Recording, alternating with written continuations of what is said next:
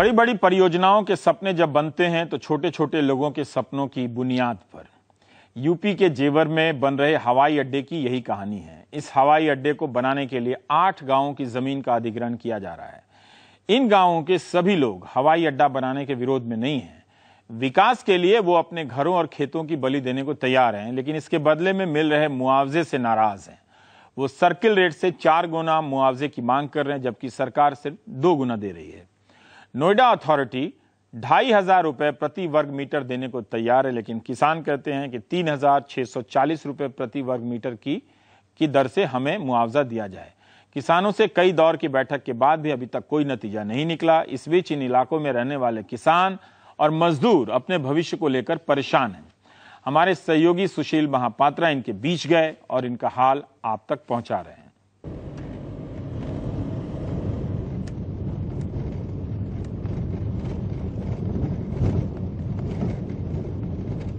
नोएडा से करीब 60 किलोमीटर दूर जेवर।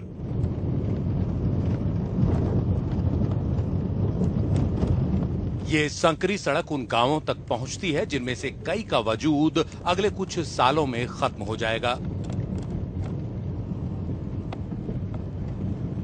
इस दयानतपुर पंचायत के लहलहाते खेत एयरपोर्ट के टारमैक के नीचे दब जाएँगे। चारों ओर गूंजता पंछियों का एक कलरव कहीं खो जाएगा। सिर्फ़ विमानों का शोर बचा रहेगा।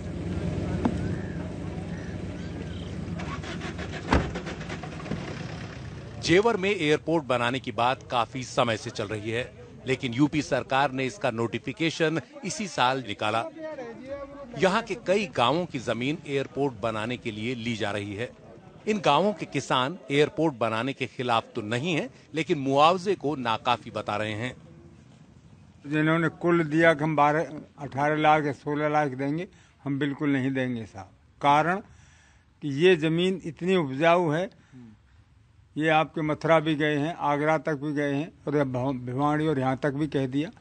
वहाँ जहाँ पीने तक का पानी नहीं है, और यहाँ गंगा जी बहती है। हमने तो ये स्वप्न देख के बहुत बुरा किया। हमें तो भला हो अटल बिहारी जी वाजपेयी का, केवल एक्सप्रेस वे से हम संतुष्ट हैं।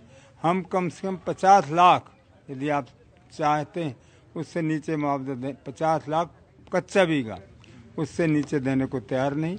या मथुरा, आगरा वाले, इससे हमको ये ना बहकाए। हम, अगर ये कल की वजह अगर आज चाहते हो ना तो हमें इस एयरपोर्ट से बिल्कुल भी खुश नहीं है, अब हाल ले जाओ। किसान इस तरह से राज़ी नहीं है, जिस तरह से गवर्नमेंट और गवर्नमेंट के कर्मचारी तैयार है। यदि गवर्नमेंट ये तो 2000 से 2013 के बाद में चलता ही आ रहा है कि ना तो उन्होंने सर्किल रेट कभी बढ़ाया है, और यदि वो ये चाहते हैं कि इस किसान को इस ज़मीन को किसानों की असहमति से ले लिया जाए तो वो कभी नहीं होगा। जिस तरीके से भट्टा पारसोल का कांड हुआ, जिस तरीके से घोड़ी बछोड़ा, बछेड़ा में कांड हुआ, जिस तरीके से टप्पल में कांड हुआ, यहाँ पे ऐसा ही हो जाएगा। नोटिफिकेशन के मुताबिक पहले दौर में किसानों की करीब 1300 हेक्टेयर ज़मीन का अधिग्रहण किया जाएगा। भूमि अधिग्रहण नियम के मुताबिक शहर के किसानों को सर्किल रेट से दो गुना मुआवजा देने का प्रावधान है, जबकि गाँव के किसानों को सर्किल रेट का चार गुना। गाँव वालों का आरोप है कि सरकार ने उनके गाँवों को शहरी इलाके में डाल दिया है ताकि मुआवजा आधा रह जाए।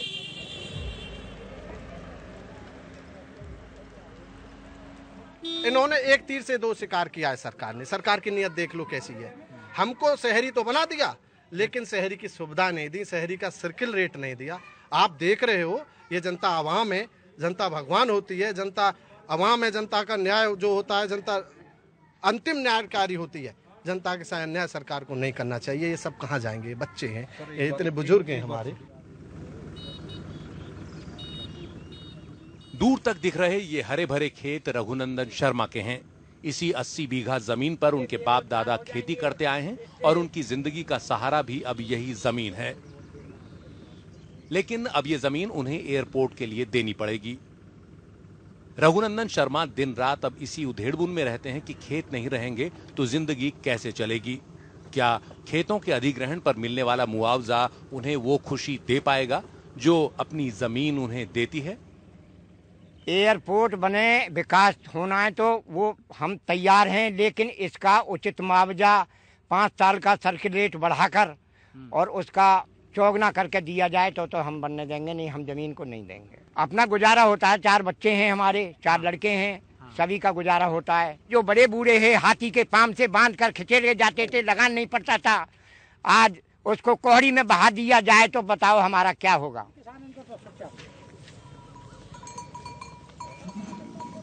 यह है दयानतपुर खेड़ा गाँव।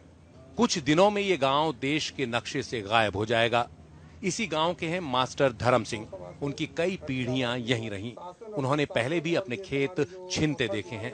तब यमुना एक्सप्रेसवे के लिए उनकी ज़मीन ले ली गई।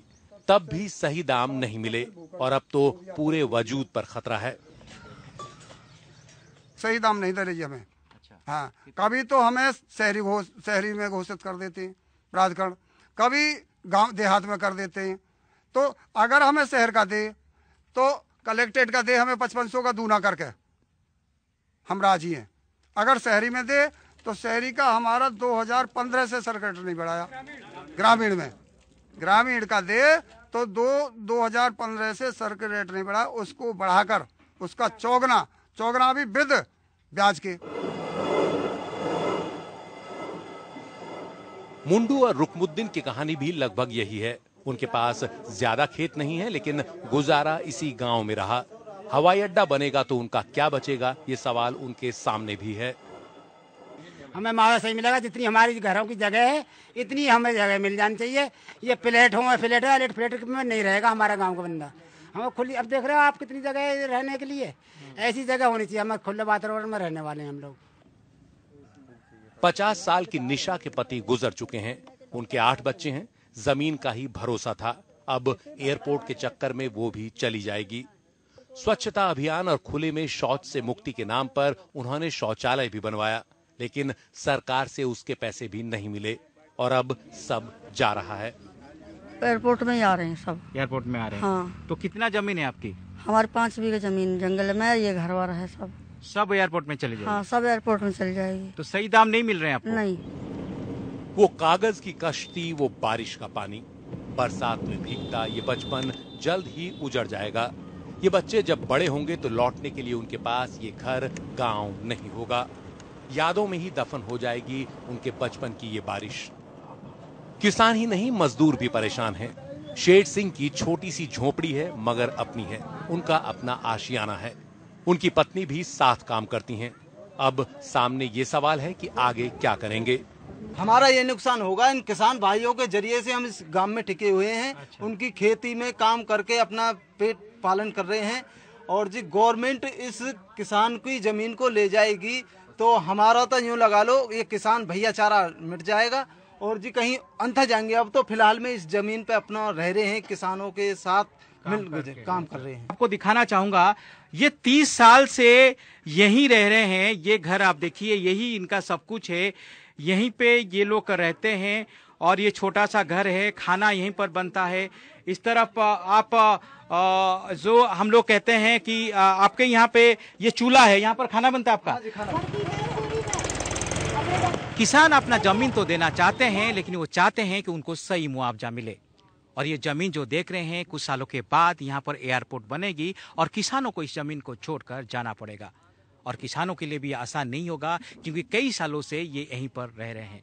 अगर सरकार सच में चाहती है कि इस ज़मीन पर एयरपोर्ट बने और लोगों की फ़ायदा हो तो किसानों की जो डिमांड है, वो भी पूरा करना चाहिए। कैमरा पर्सन प्रेम सिंह के साथ मैं सुशील महापात्रा, एनडीटीवी इंडिया।